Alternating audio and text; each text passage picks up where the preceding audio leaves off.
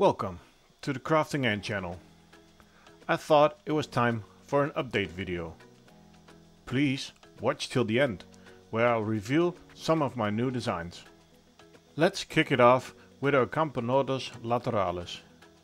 They are still very happy in their piece of wood.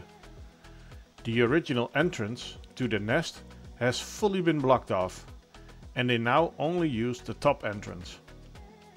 Since they still take in a lot of protein, there should be a good amount of brood. This is our Crematogaster scutellaris. She has been in the dark for a few months, but as you can see, she is progressing nicely. On to our Formica fusca colony. We got her as a queen two months ago. And now, with 5 workers and some brood, she is looking good. Next up are our Camponotus nicobarensis. They are in our mesh nest and the growth on these girls is amazing. As you can see, we already have some mages. They also really like to tear up their outworld. Did you know that a lot of people recommend them as a starting species as they are fast growing and easy to keep. Now it's time for our two Camponotus cruentatus colonies. And it's not looking good, especially our second queen. She had laid some eggs, but she keep on eating or dumping them. Our first colony is going up and down. She came with two workers and there has been brood, but then it disappeared. And now there's a small amount again. Let's hope they pull through.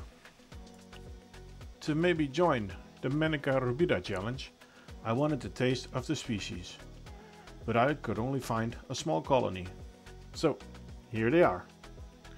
They are progressing nicely and it's cool to see how active they are. Let's see if I can find a queen somewhere. Remember the maze episode? This is one of the Tetramorium bicarinata queens, split off after the race. And she is booming. I have an idea for a nest for her, but that's something for another episode. Look at her five queen sisters brood. They are insane. So much brood. But also so much hunger. Always ants in the outworld, looking for food. On to a quiet but nice colony. Our two queen Lasius flavus. And they are doing awesome. Lots of workers and brood. They are just doing their thing. I was thinking of putting them in a large outworld with another of our species. What do you guys think? Leave a suggestion in the comments. Time for a general favorite. Camponotus vagus, with the queen called Beasley. After the last episode, 10 more workers have arrived. And the brood just keeps coming. She really needs a nest update. I want to make her a nice wood nest. This will be coming soon. On to our two Messor Barbarus colonies. They both have workers now, and after a rough start, they are both progressing really good. And then, of course, our Harpegnathos venators. As you saw in the last video, they are great. The hunting, the awareness, the jumping, the general looks. Now that the eggs are there, it's just waiting for the larvae. And let's not forget about Lasius niger, our first colony and testers of nests. We have them in different sizes now, and they have been in different setups.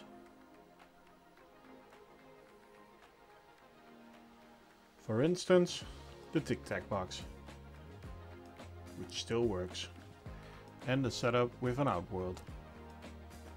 Time for our last Camponotus, Camponotus ligniperda. We have two nests with workers and brood. Just look at those beautiful colors.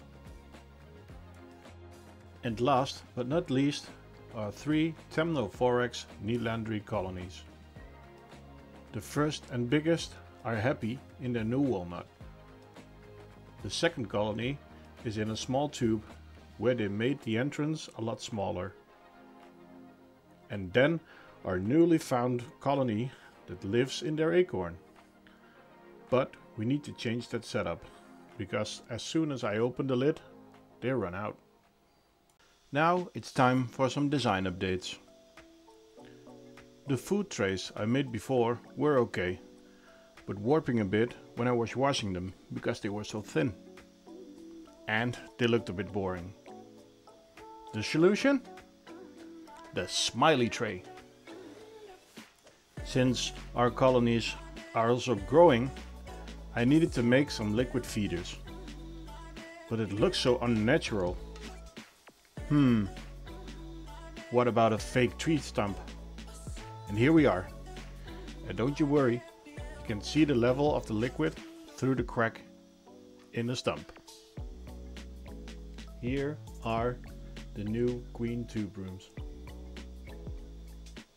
The tube room itself connected to a feeding area that is now with new connector that's really tight and loose if necessary. You can get the feeding areas with different amounts of ports. And with the new connector, there's a really strong bond. These are the prototypes and are being tested at the moment. Thank you for watching. Please don't forget to like, subscribe and hit the bell icon. And see you next time at the crafting ant.